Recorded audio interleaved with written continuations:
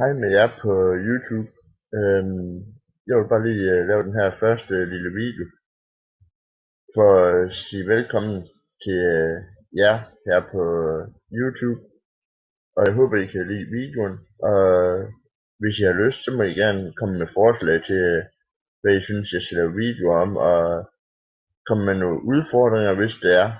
Men øh, nu må vi se, hvad I følger synes.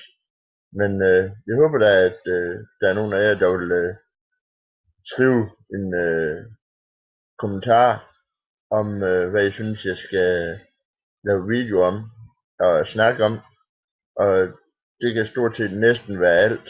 Og så øh, bedømmer jeg selv, om det er noget, jeg har lyst til at lave video om. Men i hvert fald velkommen her på min øh, YouTube-kanal.